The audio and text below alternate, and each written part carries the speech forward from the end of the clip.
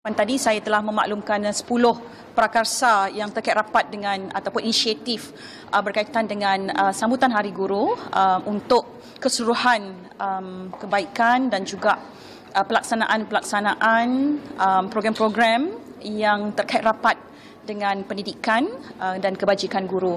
Uh, dan alhamdulillah uh, hari ini juga Perdana Menteri telah memberikan satu jaminan berkaitan dengan meningkatkan terus profesion keguruan ini termasuk dalam menaikkan um, upah ataupun gaji guru um, pada masa mendatang.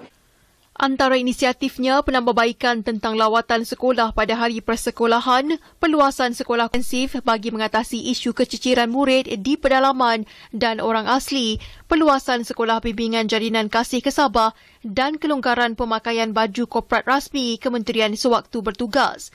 Selain itu, kementerian komited memperkasa pengambilan pegawai perkhidmatan pendidikan bagi mengatasi masalah kekurangan guru seluruh negara serta memasukkan kutipan sumbangan sempena Hari Guru.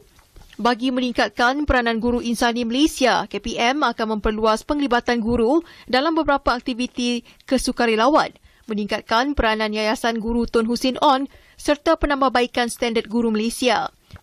Inisiatif lain termasuk menyediakan ruang untuk golongan pendidik merehatkan minda melalui program cuti-cuti cikgu mampu milik dengan tawaran potongan harga tiket penerbangan, penginapan, pengangkutan serta taman tema dengan kerjasama beberapa rakan strategik.